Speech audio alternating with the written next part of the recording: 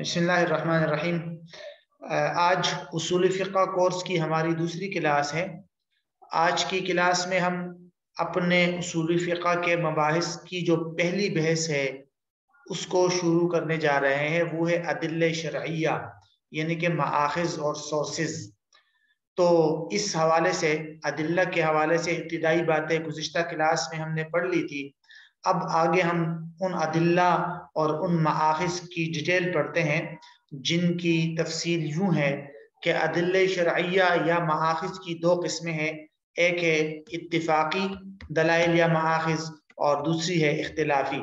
तो जो इतफाक़ी दलाइल या माखज़ है, उनमें कुरान, सुन्नत, इजमा और क़यास आते हैं तो उनमें से सबसे पहली जो है वो दलील या पहला मखज़ जो फ़िकी अहकाम का है, वो है कुरान। उसूल फ़िका में कुरान से मुतक बाकी भी तफसीलात है, लेकिन सिर्फ़ लफ्ज़ ये कुरान मजीद से मुतक चंद पॉइंट है, इसको आप जहन में रख दीजिए। बाकी बातें कवायद इस्तेमाल और कवायद लगत वगैरह के अंदर ही आ जाएगी, उसका ताल्लुक भी कुरानी नसूस के साथ है। फ़िलहाल आपने कुरान से मुतक ये चार बातें और चार पॉइंट जहन में रखने हैं। पहली बात, कि कुरान का तारफ़। दूसरी बात, कुरान की खसूसियात। तीसरी बात, कुरानी अल्फाज की दलालत। दलालत मीन के कुरानी अल्फाज जो माना बताते हैं, वो किस तरह के मानी बताते हैं हमें। अल्फाज जो मानी हमें बताता है मीनिंग वो किस तरह है। और चौथा पॉइंट अहकाम कुरान की किस्में। तो सबसे पहला वाला पॉइंट हम देखते हैं कि कुरान मजीद का तारुफ। कुरान मजीद का यानी किताबुल्ला है और ये किसी भी तारुफ से बालातर है। एक मुसलमान होने की हैसियत से हर शख्स को पता है कि कुरान का तारुफ क्या है। अलबत्ता उलमा और खसूस उसूल फ़िका के ने कुरान की तारीफ़ की है, मुख्तलिफ़ अल्फाज में की है, लेकिन सबका मफहूम यकसा है तकरीबन। अरबी में कुरान मजीद की जो तारीफ़ की जाती है, वो यूँ की जाती है कि हुवल किताब अलमुनज़ल अला रसूल अला रसूलिल्लाह मुहम्मद सल्लल्लाहु वसल्लम। अलमकतूब फिल मसाहिफ अलमनकूल इलैना अनहु नकलन मुतवातिरन बिला ये कुरान की अरबी में तारीफ़ की जाती है। यानी आसान उर्दू में इसका क्या मतलब होगा कि कुरान मजीद ऐसी किताब है जो अल्लाह की तरफ़ से अल्लाह के रसूल मोहम्मद अलैहि वसल्लम पर नाजिल हुई और वो किताब मसाहिफ में लिखी हुई है और हम तक बगैर किसी शक व शुबा के तवातुर के साथ नकल दर नकल होकर पहुँची है। तो ये है कुरान। ठीक है? तो ये है कुरान मजीद। और कुरान जो है, ये अहकाम और फ़िका के लिए सबसे पहला और सबसे अहम सोर्स और माखज है। इस बात में मुसलमानों का कोई अख्तिलाफ नहीं है। कोई शख्स मुसलमान होकर इस बात में अख्तिलाफ नहीं कर सकता कि कुरान मजीद तमाम लोगों के लिए हजत है और सबसे पहला माखज है। और इसके फ़िकी अहकाम के सोर्स के होने और इसके माखज होने पर यही दलील काफ़ी है कि ये अल्लाह की किताब है और अल्लाह ने नबी पर नाजिल करके इस उम्मत की रहनुमाई के लिए नाजिल की है। तो जब शरीयत की असल और बुनियादी किताब ही यही है तो ये हमारे अमली अहकाम और फ़िका के लिए एक बुनियादी सोर्स है और मखज अव्वल है। ठीक है? तो ये तो पहला पॉइंट हो गया मुख्तसरा। दूसरे पॉइंट की तरफ़ आइए। कुरान मजीद की खसूसियात। मैंने आपके सामने जो कुरान मजीद की तारीफ़ की है, उन्हीं के अंदर, उसी तारीफ़ के अंदर कुरान की खसूसियात भी मौजूद है। मसलन, पहली खसूसियत क्या है कि ये कलामुल्लाह है। ये क्या है? कलामुल्लाह है। अल्लाह ताला का कलाम है, कलामुन्नास नहीं है। दूसरी खसूसियत यह है कि ये मोहम्मद वसल्लम पर नाजिल हुआ है। ये कुरान, ये किताब आप सल्लल्लाहु अलैहि वसल्लम पर नाजिल हुई है। यही तो वजह है कि दीगर जो आसमानी किताबें हैं, तौरात, इंजील वगैरह, वो कुरान नहीं है क्योंकि वो आप सल्लल्लाहु अलैहि वसल्लम पर नाजिल नहीं हुई। तीसरी खसूसियत यह है कि कुरान मजीद जो है, ये जिस तरह उसूल फ़िक्र के अंदर बताया जाता है ना कि अल कुरान इसमुन लिन्नज़्म वल माना जमीअन ये उसूल है उसूल फ़िक़ा का, कि अल कुरान इसमुन लिलनज़मी वल माना जमीआन। कि कुरान मजीद जो है, ये सिर्फ़ और सिर्फ़ अल्फाज का नाम नहीं है। कुरान सिर्फ़ कुरान के मानी का भी नाम नहीं है। कुरान दो चीज़ों के मजमूए का नाम है, वो है अल्फाज और मानी। अरबी अल्फाज इसके अरबी जबान के है, कुरान में आता है, इन्ना जालना कुरान अरबिया ठीक है? और उसके मानी, इन दोनों का मजमुआ कुरान मजीद कहलाता है। अगर कोई एक चीज़ होगी, मिसाल के तौर पे यही तो वजह है कि अहादीस को कुरान नहीं कहा जाता। क्यों? इसलिए कि अहादीस के अल्फाज, कुरानी अल्फाज नहीं है, अल्लाह की तरफ़ से नहीं। है ठीक है? इसी तरह जो कुरान मजीद का जो सिर्फ़ तर्जुमा और तफसीर है, उसको भी कोई कुरान नहीं कहा जाएगा। किसी भी जबान में हो। तो कुरान मजीद के तर्जुमे को भी कुरान नहीं कह सकते आप। तफसीर को भी कुरान नहीं कहा जाता। क्योंकि वो सिर्फ़ माना है, मफहूम है, अल्फाज नहीं है। तो कुरान मजीद जो है ये एक उसूल फ़िक्र का कायदा है कि अल कुरान इसम वलमाना। जमीयान यही तो वजह है कि अगर आप नमाज़ के अंदर कुरान की जो किरात वाजिब है सूर फातिहा और उसके बाद सूरत, अगर आप वहाँ पर तर्जुमा पढ़े, किसी और जबान में सूरत के बजाय आप उसका तर्जुमा पढ़े तो नमाज़ नहीं होगी, क्योंकि आपने किरात नहीं की, आपने कुरान नहीं पढ़ा। ठीक है? तो यह है बुनियादी तौर पर कि भाई कुरान जो है, उसके लिए अल्फाज का होना भी ज़रूरी है। तो ये भी एक खसूसियत है। चौथी एक खसूसियत इसकी ये है कि कुरान मजीद जो है, ये आप सल्लल्लाहु अलैहि वसल्लम पर जब नाजिल हुई तो आप सल्लल्लाहु अलैहि वसल्लम से लेकर हम तक ये कुरान तवातुर के साथ पहुँचा है। तवातुर का क्या मतलब होता है? आगे जाके हम पढ़ेंगे सुन्नत में। तवातुर का मतलब होता है, यानी कि मुतवातिर, कि इतने ज़्यादा लोगों ने इसको नकल किया है हर हर जमाने में, कि उतने ज़्यादा लोगों का झूठ पर इत्तिफाक करना और एग्री होना नामुमकिन हो। यानी एक आदमी कोई बात करता है, दो करते हैं, तीन करते हैं, एक घर वाले करते हैं या एक इलाके वाले करते हैं तो वहाँ शुभ होता है कि भाई इन्होंने आपस में इत्तिफाक किया होगा और सारे झूठ बोल रहे होंगे। लेकिन जब करोड़ा लोग हैं, एक ही इलाके के भी नहीं है, दुनिया के अलग अलग कोनों के हैं, और वो सारे के सारे एक ही तरह की आयात आप वसल्लम के जमाने से लेकर हर हर जमाने में पढ़ते, पढ़ाते आ रहे और हम तक उन्होंने पहुँचा दिया। तो इसका मतलब ये है कि भाई ये लोग झूठ नहीं बोल रहे अकल इस बात को तस्लीम ही नहीं करती कि इतने ज़्यादा लोग अलग अलग इलाकों के लोग एक ही बात पर मुतफिक हो गए, एक ही किस्म की आयात और तरतीब पर और कुरान पर मुतफिक हो गए। ये कैसे हो सकता है? ये झूठ नहीं हो सकता। तो इसको कहते हैं तवातुर। यही तो वजह है। कि कुरान मजीद की वो किरात आपको पता है कुरान की अलग अलग किरात भी है। तो वो किरात जो तवातुर से हम तक नहीं पहुँची, उनको उलमा कुरान का हिस्सा नहीं समझते। जैसे मिसाल के तौर पर कुरान मजीद की एक किरात है ना मसलन सूर्य बकर की आयत है कमल वो जो कफारा सो कसम के कफारे के बारे में कि कुरान मजीद की आयत आयत है कमल लम यजिद फसयाम सलासत अयामिन अब एक और किरात है, उसमें अयामिन के बाद एक और लफ्ज का इजाफा है फसयामो सलासती अयामिन मुतताबिआत। तो वो जो लफ्ज मुतताबिआत वाली किरात है, वो तवातुर के साथ नहीं है, इसलिए उस लफ्ज को उलमा कुरान का हिस्सा नहीं समझते। ठीक है? अच्छा कुरान की एक और खसूसियत ये है, पांचवी खसूसियत, कि कुरान जो है, ये तबद्दुल और चेंजिंग और तहरीफ से बिल्कुल महफूज है। क्योंकि इसका जिम्मा खुद अल्लाह रब्बुल इज़्ज़त ने लिया है, इसकी हिफाजत का। सूरे, सूरतुल हजर में है ना? इन्ना नहनु नज़्ज़लना ज़िक्र व इन्ना लहू लहाफिज़ून। ठीक है? तो ये कमी बेशी से मुकम्मल तौर पे महफूज है। एक छठी खसूसियत कुरान मजीद की ये है कि कुरान मुआजिजा है। कुरान क्या है? मुआजिजा है। मुआजिजा का मतलब ये है कि इस जैसे कलाम लाने पर पूरी मखलूक इस जैसे कलाम लाने से कादिर से आजिज है। इस जैसा कलाम नहीं ला सकते। जैसे कुरान मजीद में आता है कि शुरू में अल्लाह रब्बुल इज़्ज़त ने मुकम्मल कुरान लाने का मतलब एक किस्म का चैलेंज दिया था सूरत इसरा में, है ना? कि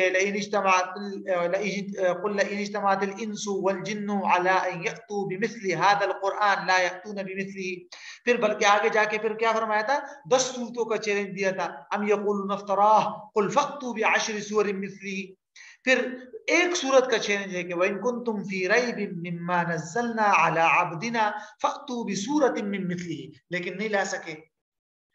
आजकल के तो छोड़िए, उस जमाने के जो बड़े बड़े अरबी और नसर और, अरबी के नसर और अशार के शहसवार समझे जाते थे, वो भी लाने से आजिज आ गए थे। तो कुरान हर एतबार से मुआजिजा है। और कुरान का जो एजाज है या कुरान का जो मुआजिजा होना है, वो इस कुरान का फसीह और बलीग होना, कुरान का यानी ऐसे तरस पे होना कि जिसको आप ना नसर कह सकते हैं, ना इसको आप शायरी कह सकते हैं। ऐसा अजीब, यानी, अंदाज और उसलूब है कुरान का। कुरान में ऐसे ऐसे पेशन गोइया हुई है, मुस्तकबिल की जो बाद में सच्ची साबित हुई। है ना? ऐसा कोई नहीं कह सकता कि मुस्तकबिल से हुआ खबर हो। आप कहें कि भाई अगले फला दिन को ऐसा होगा। तो ये कुरान की खसूसियत और एक मुआजा है। ठीक है? कुरान के अंदर ऐसी ऐसी कौमों के हालात बयान हुए हैं कि अरब लोग जो है उससे, उनके नाम और निशान तक जो है वो वाकिफ नहीं थे। तो कुरान का जो मुआजा होना है या एजाज कुरान इससे बहस होती है उसूली तफसीर और कुरान वगैरह में उसको वहाँ देख, देखा जा सकता है। बहरहाल तो ये कुरान की खसूसियात से मुतल कुछ तफसील थी। तीसरे पॉइंट की तरफ़ आइए। कुरानी अल्फाज की दलालत। कुरानी अल्फाज की दलालत का क्या मतलब है? कुरानी अल्फाज की दलालत का मतलब यह है कि देखिए कुरान मजीद के अंदर जो आयात है, जो अल्फाज है, ठीक है? उन अल्फाज का और उन कुरानी आयात का हम तक पहुँचना ये तो तवातुर के साथ साबित है, मैंने आपको बता दिया। और इसमें किसी किस्म का कोई शक व शुबा नहीं है, जिसको उसूल फ़िक़ा में क्या कहा जाता है? सबूत, के सबूत के लिहाज से कुरान मजीद कतई और यकीनी है। इसमें किसी किस्म का कोई शुबा नहीं है कि ये वाली आयत कुरान का हिस्सा है या नहीं। फला वाली आयत ये कुरान का हिस्सा है या नहीं। नो इसमें किसी किस्म का कोई शुबा नहीं है। यही वजह है कि कुरान अल्हम्दु से लेकर वन्नास की आखिरी आयत तक मुकम्मल तौर पर कुरान कतई सबूत है। इसके सबूत में किसी किस्म का कोई शुबा नहीं है। लेकिन कुरान की जो आयत है सबूत के लिहाज से तो कति है, लेकिन कुरान की आयात अपनी माना बताने में, अपना मफहूम बताने में क्या कतई और यकीनी है? क्या कुरान की हर हर आयत का माना एक ही क्लियर माना है वाज माना है, यकीनी माना है कि जिसमें किसी किस्म का कोई और माने का एहतमाल ही ना हो, शक ही ना हो? क्या ऐसा है? बाल्फाजी दीगर आप इस सवाल को यूँ भी कह सकते हैं कि क्या कि भाई कुरान कतई सबूत तो है, लेकिन क्या कुरान मजीद कतई दलाला भी है या नहीं? दलाला का मतलब ये होगा कि कुरान के तमाम अल्फाज और तमाम आयात के मानी बिल्कुल क्लियर है, बिल्कुल एक ही माना है हर हर लफ्ज का। कती तौर पर इसमें किसी किस्म का कोई शुबा और दूसरे माने का अहतमाल नहीं है, इसमें इश्तिहार और गौर फ़िक्र करने की कोई ज़रूरत नहीं है। ठीक है? या ऐसा नहीं है। तो क्या कुरान मजीद के जो अल्फाज के मानी है, वो कतई दलाला है? और कुरान तो इस बारे में कहते हैं कि नहीं। कुरान मजीद कतई सबूत तो है, लेकिन कतई दलाला नहीं है। कुरान के तमाम आयात के अल्फाज और तमाम आयात के मानी इतने क्लियर और वाज यकीनी नहीं है कि जिसको आप कतई दलाला कहे कि भाई उसका एक ही माना है। नहीं, बल्कि कहते हैं कि कुरान मजीद के आयात अपना माना बताने में दो किस्म पर है। एक, आयात कतैया या अल्फ़ा, अल्फाज कतैया आप कह सकते हैं, या दलालत कतैया और दूसरी है दलालत जन्निया। दलालत कतैया का मतलब यह होगा कि कुरान के कुछ आयात, बल्कि अक्सर आयात ऐसी हैं कि जिनका एक ही क्लियर माना है, उसमें दूसरे किसी भी माने का एहतमाल और गुंजाइश नहीं है। यानी कि वो कतई दलाला है। और यकीनी है उसका माना। मिसाल के तौर पर, कुरान मजीद में मीरास के जो अहकाम बयान हुए हैं, बिल्कुल क्लियर है कि नहीं? कुरान में है, वलकुम निस्फुमा यकुन यकुन, लहु वलद लहुन्न वलद मिम्मा तरकना मिन वसीयतिन यूसीना बिहा औदैन जिसमें मियाँ बीवी के जो है मिराज का ज़िक्र है कि भाई अगर औरत मर गई और औलाद है तो शोहर को चौथाई हिस्सा मिलेगा औलाद नहीं है तो शोहर को आधा मिलेगा और अगर शोहर मर गया औलाद है तो बीवी को आठवां हिस्सा मिलेगा और अगर औलाद नहीं है तो बीवी को चौथा हिस्सा मिलेगा ये तब है कि जब वसीयत या कर्जा जो है वो उसके बाद है? बिल्कुल कती यकीनी है, इसमें दूसरे किसी माने का अहतमाल ही नहीं है। कुरान में है अजानियत अजानी फजलिदू कुल्ल वाहिद मिनहुमा मिअत जल्दा। के जानी और जानिया को सौ कोड़े लगाए जाए सजा के तौर पे। तो इसमें किसी किस्म के दूसरे माने का अहतमाल ही नहीं है, यकीनी मान। नंबर दो दलालत जन्निया। कुरान के कुछ आयात ऐसे हैं कि जिनके अल्फाज और जिनकी जो जिनके अल्फाज की जो मानी है, वो सिर्फ़ एक नहीं है। यकीनी तौर पर बिल्कुल क्लियर नहीं बल्कि उनमें एक से ज़्यादा अहतमाल होते हैं। यही वजह है कि उसके तफसीर में और उसमें गौर व फ़िक्र करने के बाद उसके नतज में उलमा का इख्तलाफ भी हो जाता है। तो मिसाल के तौर पर, कुरान मजीद में मुतलका औरतों की इद्दत बयान करते हुए सूर्य बकर में अल्लाह ताला फरमाते हैं कि वल मुतलकातु यतरबसना बिअनफुसिहिन्ना सलासत कुरू। कि भाई मुतलका औरतें जो हैं, वो अपने आप को तीन कुरू तक रोके रखे। तीन कुरू तक रोके रखे। यानी कि उनकी इद्दत जो है, वो तीन कुरू है। अब ये जो लफ्ज कुरू है इसका माना एक और यकीनी माना एक नहीं है। बल्कि अरबी लगत में इसके दो मानी है। कुरु, कुर उनकी जमा है और इसका, इसके दो मानी होते हैं। एक माना है इसका हेज मेंसेस और दूसरा इसका माना आता है पाकी और तहारत। दोनों मानी हो सकते अगर हेज ले ले तो इसका मतलब होगा कि मुतलका औरतों की इद्दत तीन हेज है। और अगर पाकी ले ले, पाकिया, जो दो हेजों के दरमियान जो पाकी होती है, पंद्रह दिन, बीस दिन, जितने भी तो अगर पाकि ले ले तो मतलब होगा कि मुतल औरतों की जो इद्दत है, वो तीन पाकिया है। अब दोनों मानी का इसमें मौजूद है, और दोनों जो है, इसमें अहतमाल आते तो ऐसे अल्फाज को क्या कहते हैं कि जिनकी दलालत कतिया और यकीनिया नहीं है, बल्कि जुन्नी है। इसीलिए फिर इसमें जब गौर फ़िक्र करते हैं तो उनमें आपस में इख्तलाफ हो जाता है। मसलन, फ़ुकहा हनफिया ने जब गौर किया और उन्होंने कराइन और दीगर दलाइल को देखा, कुछ अहादीस से तायद हासिल की, कुछ इसी आयत के आगे पीछे वाले अल्फाज से, यानी लफ्ज सलासत उनसे लफ्ज कुरू के जमा होने से, और इस तरह दीगर कराइन को बुनियाद बनाकर इससे कुरू का पहला माना, यानी कि हैज़ मुराद ले लिया जबकि फ़ुकाय शाफिया ने भी कुछ कराइन की बुनियाद पर इसका माना तोहर के ले लिया तो इख्तलाफ हो गया।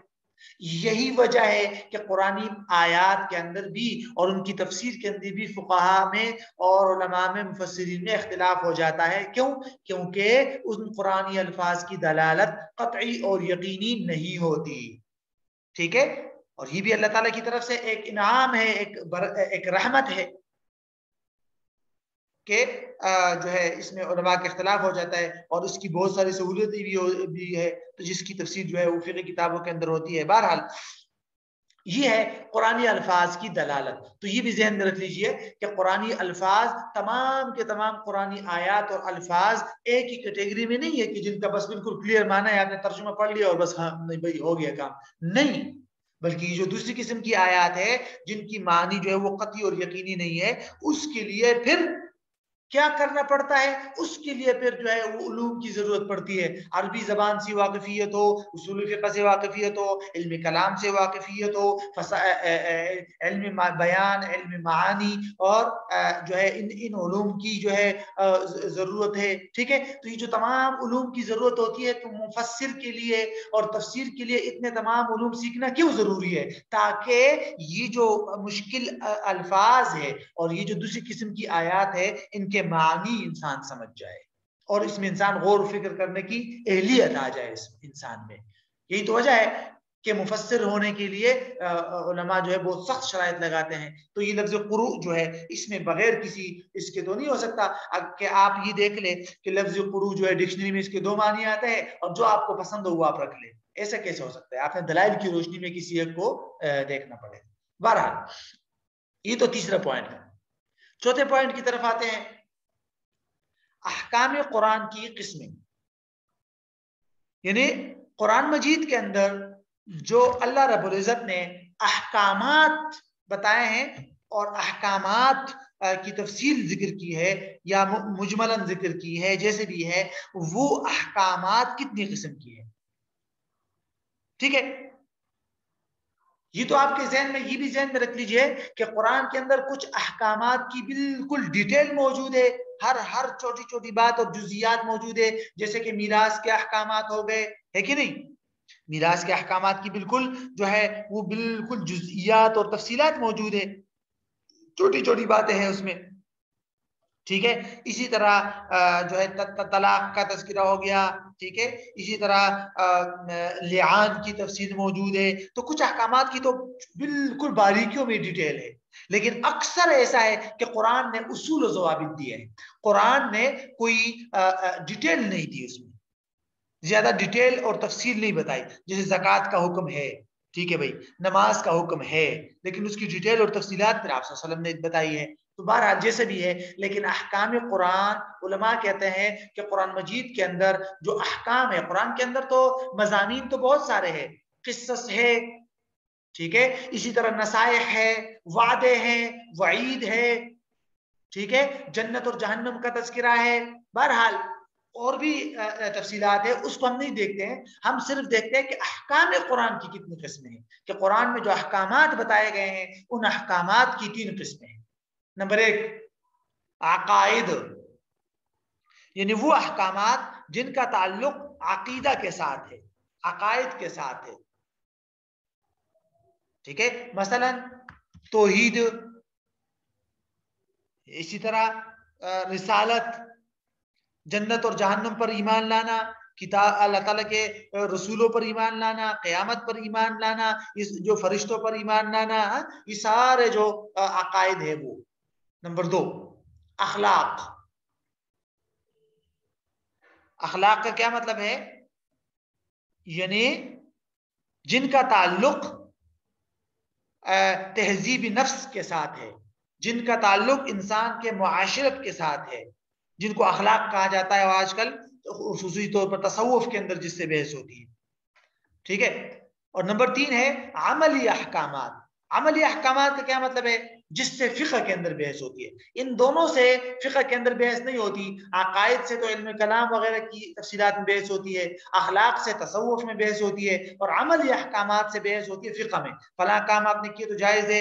हाँ फला खरीदो फरोख्त का मामला दुरुस्त नहीं है। नमाज़ यूँ पढ़ेंगे तो दुरुस्त होगी। नमाज़ यूँ पढ़ेंगे तो दुरुस्त नहीं है। जक़ात का हुक्म ये है ये जो सारे अमली अहकाम है, ये है अमली अहकाम फिर जो अमली अहकाम होते हैं, वो आपने देखा होगा फ़िक़ के अंदर उसकी मुख्तलिफ़ तकसीमत करते हैं। सबसे पहले जो बड़ी कैटेगरीज है, अमली अहकाम की वो दो बनाते हैं।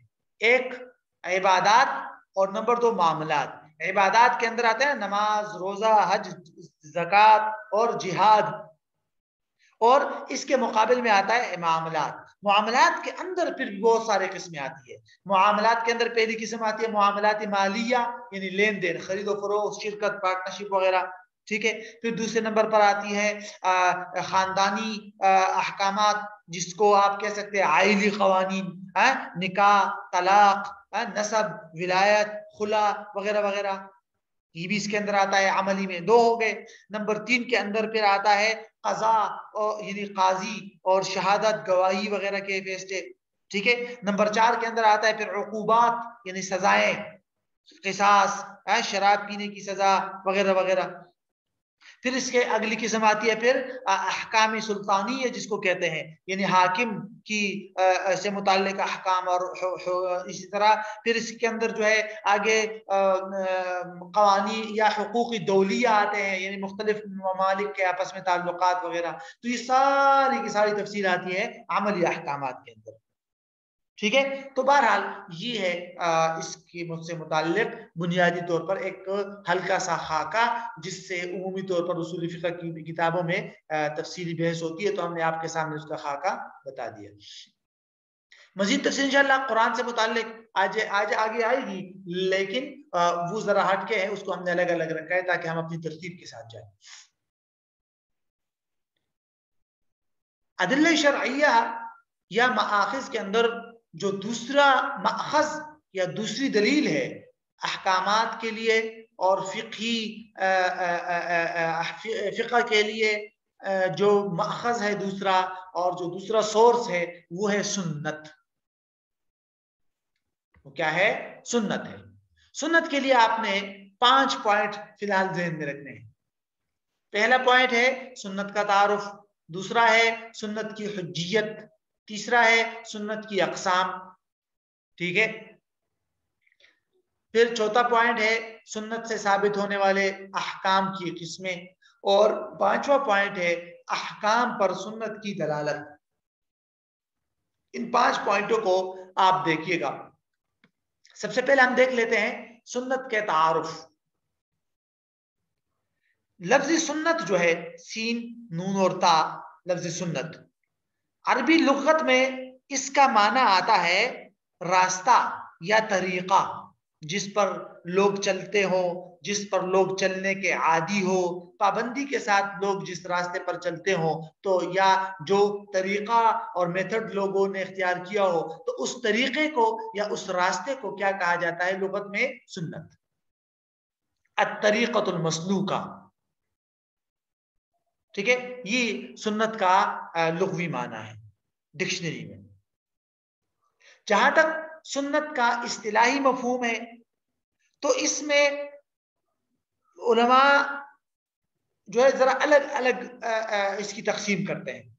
मिसाल के तौर पर, फुकाहा के यहाँ सुन्नत की इस्तिलाह का मतलब होता है कि वो अमाल जो फ़र्ज़ भी नहीं है जो वाजिब भी नहीं है, और आप सल्लल्लाहु अलैहि वसल्लम ने उन अमाल को इबादत के तौर पर किया।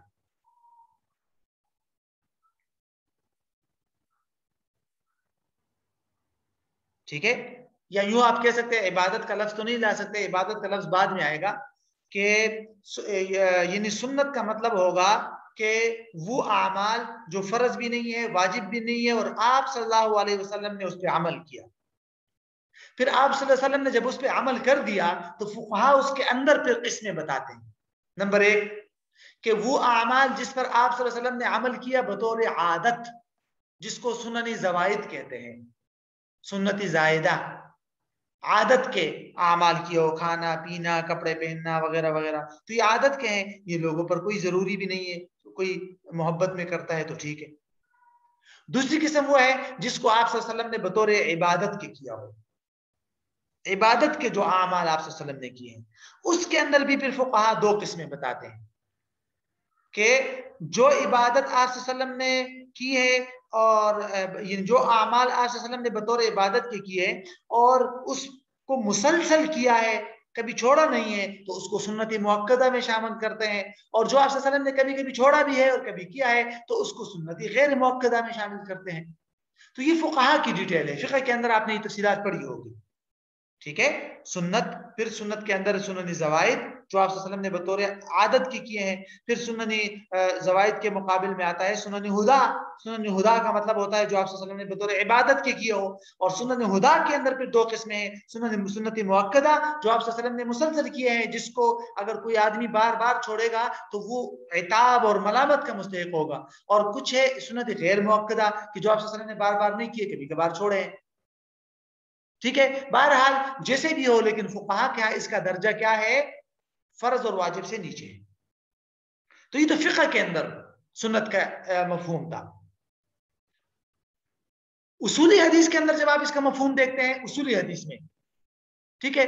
तो उसूली हदीस में फिर उलमा क्या करते हैं? दो तबकात हो जाते हैं। कुछ उलमा कहते हैं कि हदीस और सुन्नत दोनों बिल्कुल सेम है। यानी आप सल्लल्लाहु अलैहि वसल्लम के अकवाल आप के अफ़ाल और आप के तकरीरात, यानी खामोशी और सुकूत, उसको हदीस भी कहते हैं, उसको सुन्नत भी कहते हैं। लेकिन कुछ उलमा जो उसूल हदीस वाले हैं, वो कहते हैं कि नहीं। आप के अकवाल को तो ठीक है, हदीस कहेंगे, लेकिन आप के अमाल को, जिस पर बाकायदा ने अमल किया, उसको सुन्नत कहेंगे। तो बहरहाल, ये इसकी डिटेल फिर जाके उसूल हदीस में मिलती ये दूसरा तबका हो गया। फुकाहा ने जरा इसको अलग मफहूम लिया था। उसूल हदीस में इसका थोड़ा सा मफहूम अलग हो गया। उसूल हदीस में नहीं? हाँ उसूल हदीस में। ठीक है? और अब हम आते हैं अपने मौजू की तरफ़ कि उसूल फ़िक़ा के हजरात सुन्नत से क्या मतलब मुराद लेते हैं। उसूल फ़िक़ा में। उसूल फ़िक़ा में सुन्नत का मतलब होता है, आप सल्लल्लाहु अलैहि वसल्लम के अकवाल सारे के सारे सुन्नत में आएँगे। आप सल्लल्लाहु अलैहि वसल्लम के अफ़ाल यानी कि अमल, सारे के सारे आमाल, वो भी सुन्नत में आएँगे। और आप सल्लल्लाहु अलैहि वसल्लम का सुकूत, जिसको सुन्नति तकरीरिया कहते हैं, सुन्नति तकरीरिया, सुकूत का मतलब ये है कि आप सल्लल्लाहु अलैहि वसल्लम के सामने कोई अमल हुआ और आप सल्लल्लाहु अलैहि वसल्लम ने उस पर खामोशी इख्तियार कर ली तो उसको भी सुन्नत कहा जाएगा। तो उसूली फिका के अंदर, जिस सुन्नत की जो तारीफ़ है, वही तारीफ़ उसूल हदीस में हदीस की है। उसूल हदीस के हजरात, हदीस का मतलब यही लेते हैं, आप के अकवाल, अफ़ाल और खामोशी, कि आप ने कोई अमल देखा और खामोश हो गए, ठीक है? तो यही मतलब उसूली फ़िका के अंदर सुन्नत का है। तो उसूली फ़िका के अंदर सुन्नत का क्या मतलब है? वो आपको समझ आ गया। आप सल्लल्लाहु अलैहि वसल्लम के अकवाल, अफ़ाल और सुन्नती तकरीरिया, कि आप के सामने कोई काम किया जाए और आप उस पर खामोश इसको कहते हैं सुन्नती तकरीरिया। तो ये तो हुआ सुन्नत का तारुफ। ठीक है? दूसरा पॉइंट सुन्नत की हुज्जियत। सुन्नत की हुज्जियत का क्या मतलब है? सुन्नत की हुज्जियत का मतलब ये है कि भाई, क्या सुन्नत जो है आप वसल्लम के जो अकवाल, अफ़ाल और तकरीरात है, ये फ़िक़ी अहकाम के लिए सोर्स और मखज की हैसियत रखता है या नहीं? यानी आप की सुन्नत भी एक तशरी हैसियत रखती है। आप की सुन्नत से भी अहकाम साबित हो सकते हैं या अहकाम सिर्फ़ और सिर्फ़ कुरान से साबित होंगे। सवाल है ना कि क्या फ़िकी अहकाम के लिए भी हदीस मखज और सोर्स है या नहीं? तो इस बात पर तकरीबन उलमा का इतफाक है, सिवाय मुनकरीनी हदीस के। और आजकल के जो जदीद तबका वजूद में आया है और कुछ मुस्तशरकिन हो गए, उनको छोड़कर जो जमहूर है, उनके यहाँ सुन्नत की हैसियत क्या है कि ये भी मखज कानून है, ये भी फ़िका के लिए सोर्स है। और उस, इस बात पर उनके यहाँ उनके पास कुरान से भी दलाइल मौजूद है, इजमा से भी है और अकल से भी है। मैं आपको तीनों से मुख्तसरन बताता हूँ। कुरान के अंदर ऐसे कई दलाइल मौजूद है जिनसे हमें ये मालूम होता है कि आप सल्लल्लाहु अलैहि वसल्लम के अकवाल अफ़ाल और तकरीरात जो है, वो अहकाम का मखज है। ठीक है? और वो भी एक दलील है, दलील शरी है। ठीक है? कुरान के अंदर इस पर कई दलाइल मौजूद है। उन कुरानी दलाइल को आप तीन पॉइंट में तकसीम कर सकते हैं। नंबर एक कुरान में जा बजा, पहला पॉइंट तो ये है कि कुरान में जा बजा, अल्लाह ताला ने फरमाया कि आप सल्लल्लाहु अलैहि वसल्लम जो कुछ भी फरमाते हैं, उसकी बुनियाद वही है। आप सल्लल्लाहु अलैहि वसल्लम अपनी तरफ़ से कोई भी बात नहीं करते। कुरान में है ना सूरत नजम में, वमा इन यूहा कि आप जो कुछ भी बताते हैं, वो वही है। तो इसका क्या नतीजा निकला कि आप के सारे अकवाल अफाल वगैरह वो वही पर मबनी है। तो जब वो वही है तो मखज है, सोर्स है। ये पहला पॉइंट दूसरा पॉइंट कुरान के अंदर आप के जिम्मेदारियों में से एक ज़िम्मेदारी ये बताई गई है कि आप सल्लल्लाहु अलैहि वसल्लम कुरान मजीद के मुजमल और गैर तफसीली अहकाम की वजाहत करेंगे। आप की ज़िम्मेदारी है। मसलन सूरत नहल में है कि वो अनजलना इलेका जिक्रा लितुबय्यिना लिन्नास कि हमने आप पर कुरान इसलिए नाजिल किया ताकि आप लोगों के लिए इस कुरान को खोल खोल कर वजाहत के साथ बयान कर दे। तो जब आप की ये ज़िम्मेदारी है कि वो कुरान की तशरी करेंगे तो फिर आप के अकवाल को जब आप नहीं लेंगे, आप के अकवाल को आप बुनियाद नहीं बनाएँगे तो कुरान की जो तशरी की ज़िम्मेदारी थी, वो आप को क्यों दी गई? आप की वो ज़िम्मेदारी कैसी पूरी होगी फिर? आप की ज़िम्मेदारी थी कि कुरान की तशरी करेंगे तो उसी ज़िम्मेदारी का यही नतीजा निकलता है कि कुरान के आप की जो अफाल और अफाल वगैरह है वो भी मखज है। तीसरा पॉइंट कुरान में ऐसी कई आयात मौजूद है जिसमें इतबाई रसूल और रसूल की पैरवी के, के का हुक्म आया है। बहुत सारे हैं। कुरान मजीद में आता है, एक जगह सूरत में रसूल। अल्लाह की इतात के साथ साथ रसूल की इतात भी है। वमा आता कुम रसूल फखुदू जो रसूल तुम्हें दे उसको लो। फला है ना? ये आयत भी है।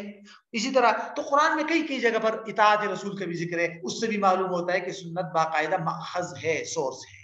ये तो कुरान से। इजमा से भी साबित है सुन्नत की हजियत के इस बात पर तमाम उलमा का इतफाक रहा है कि भाई सुन्नत जो सुन्नत नबी भी जो है, उससे भी अहकाम साबित होते हैं और वो भी एक मुस्तकिल सोर्स है, अलग। एक मुस्तकिल सोर्स है। कुरान भी है, लेकिन कुरान के साथ साथ सुन्नत भी एक अलग और मुस्तकिल कानूनी हैसियत रखता है और उसका एक अलग माखज है और तीसरा, अकल से भी इसका सबूत है कि भाई ये तो ज़ाहिर सी बात है कि देखिए, ईमान के लिए और कामिल मुसलमान होने के लिए ज़रूरी है कि आप सल्लल्लाहु अलैहि वसल्लम पर भी ईमान लाए। यानी अल्लाह पर भी ईमान ज़रूरी है, तोहीद पर भी हाँ? और इस तरह कुरान पर भी ईमान लाना ज़रूरी है। लेकिन उस वक्त तक इंसान तो मोमिन हो ही नहीं सकता जब तक रसूल पर ईमान न लाए। और रसूल पर ईमान लाने का लाजमी नतीजा यही होगा कि आपकी इतात की जाएगी। आप जो कुछ बताएँगे उस पर अमल किया जाएगा। आप जो कुछ बताएँगे उसको कबूल किया जाएगा। तभी तो ईमान मुकम्मल है। अगर आप कहें कि मैं रसूल पर ईमान तो लाता हूँ, लेकिन रसूल के अकवाल व अफाल को मैं अखज अहकाम नहीं मानता। मैं उससे अहकाम जो साबित होते हैं उस पर अमल नहीं करूँगा। तो ये कैसा ईमान है? ये तो ईमान नहीं है। तो जब रसूल पर ईमान लाजिम हो गया तो उसका लाजमी नतीजा यही है कि रसूल की हर बात, रसूल के हर कौल और हर फेल को बुनियाद बनाकर, यानी मखज बनाया जाएगा और उसको कबूल किया जाएगा, उसकी पैरवी की जाएगी। तो बहरहाल, ये था खुलासा दूसरे पॉइंट तो सुन्नत का तारुफ भी हो गया, सुन्नत की हजियत का खुलासा भी हो गया। इसके बाद इंशाल्लाह तीसरा पॉइंट आएगा सुन्नत की अकसाम।